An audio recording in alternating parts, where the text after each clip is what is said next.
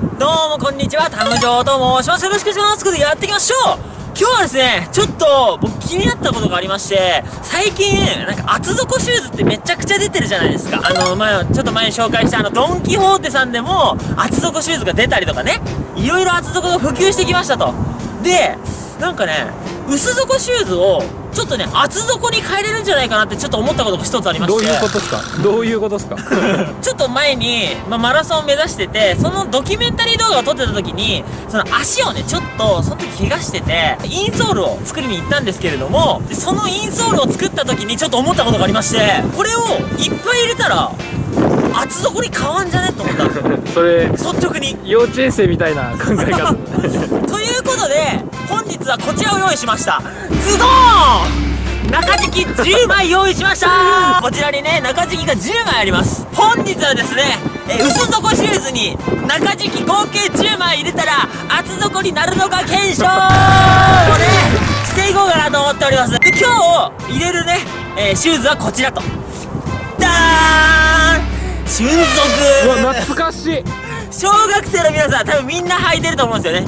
10人中10人は履いてると思う。間違いない。絶対履く。でその数収束ねコーナーでね差をつけるみたいなねあやつありましたけれどもこちらもちろん見ての通り薄底ですと、はい。こちらに中敷き入れちゃおうということでこの収束に中敷きを10枚入れて1 0キロ。走って。とりあえず1 0キロなんだとりあえずな10キロ。これもまた。走って本当に厚底になったのかっていうのをね最後に感想として言おうかなと思います。それでは早速やっていきましょう。どうでした？ちょっとね 見てほしいんですけどこれね無理だろもうねあの足が入ってる感じこれをじゃあ履くよ今履履くとするとあやばいギリいけるギリいけるガーッ。やばい。アンパン。いけっからこれ でいける？分からん。行ってみるか。履けた？あのねパンパン。やばいっしょ。動画越しに伝わらないかもしれないけど。パンパンなんさっですよ。き見たらやばかったわ。こんなくパンパンな靴初めてなんだよ。いやしょうよ。意外にね格好は別に普通だよ。まあそうですよね。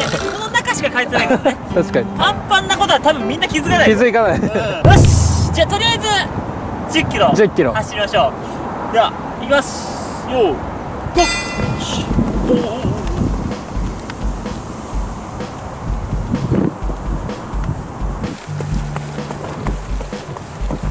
どうすか？ちょっと今走ってるけど、あのねすごいね。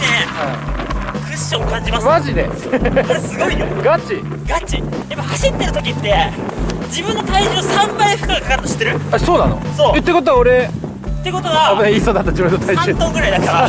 自分3トンぐらいだよ。から9トンぐらい9トンぐらいかかるってこ3とトンなの。元が3トン。元が3トン。元が3トンかい。えじゃあため城だったら、まあ、今約60キロだからうん。180キロの負荷がかかってるってこと？うん走ってる時に着地の時う3倍かかるから。んマジで？うん一見ね多分周りの人からするとあいや。いいランナーがいると。今日は本当に僕もすごい気持ちが楽なんですよね。いつもより前の1 0キロとか1キロより全然気持ちが楽です。これねもしかしたらあるかもしれない。マジで、まあ、とりあえずまだちょっと少ししかしてないから。とりあえず1キロ走ってるよし。はい。1キロ。はい。3分48 1キロ3分48秒あ意外にじゃあ走れるんだ。クッションもだいぶあるぞ。あそうなんだ。だいぶある。えー、すごいね。これねいいと思う。えー、まあ、とりあえずねこの調子で10キロ完走したいと思いますいきます。とりあえず怪我しないように頑張ってくれ。任せろ俺に今もうただの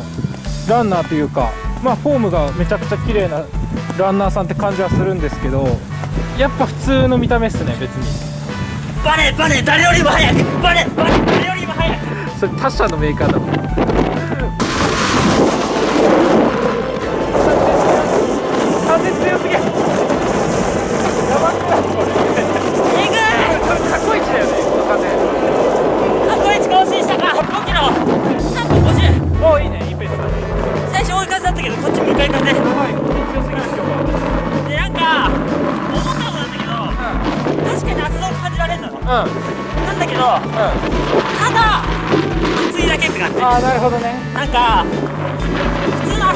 はう沈ん。だ後に。んうん。ビヨーンっていける？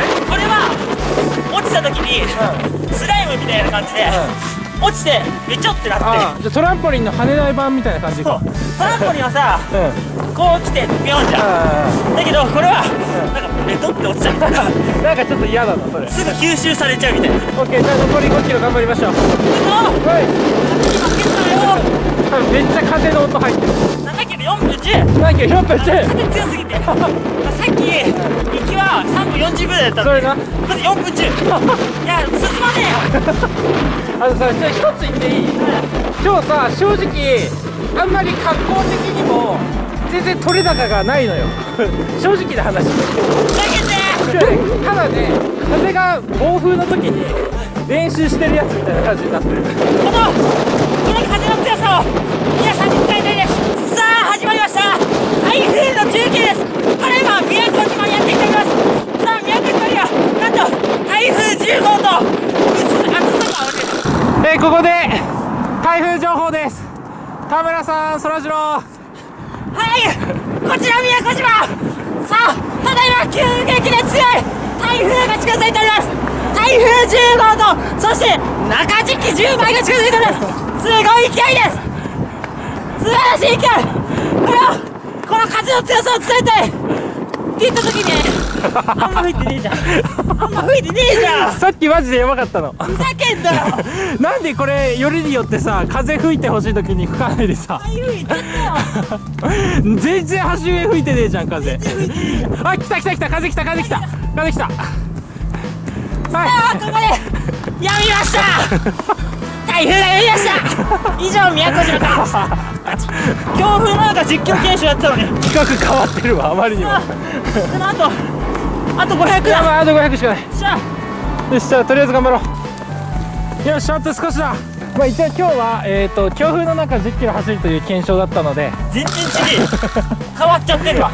ちゃんと履いてる 履いてる履いてる。うん履いてる。発音あ終わりました。終わった。はい。ゴー。はい。いやお疲れ。ルお疲れ。いやーもうほんと強風の中の1 0キロはやばいね。今日の検証はもう台風を味わいたいということの検証だったからね。結構やばかったね。まああの多分お互い途中で何の企画か分かんなくなったと思うんだけど。何の企画？一応今日はこちらね薄底シューズに、はい。あの中敷きを入れたら、はいはい。厚底になるのかっていう検証だったはず。多分ね多分ちょっと俺も分からんどっちかも。見てみるわ、うん本当にその検証なのかね？入ってました。入ってました。あのー、まずちょっと率直な感想ね。あのー、まあ厚底シューズ今出てますけれどもやっぱねただ厚くしただけじゃあんま良くなかったそうなんだ。ああのねさっきも言ったけどあ厚底なんだけどもう吸収されちゃう全部。だから本来の厚底シューズはこう吸収した後にビヨンっていくじゃん。でもこれはもうなんかグニューってなってまたそのままいくみたいな感じだからまあ厚底にすればいいってもんではないなっていうのは分かったね。まあ要は、えっと、今日の言いたいことっていうのは、はい。強風の中走ると大変っていうことだよね。そういうことだね。そういうことなの。はいという本日は強風の中1 0キロ走ってみたでした。皆さんご協力ありがとうありがとう。次回もよろしく。バイビー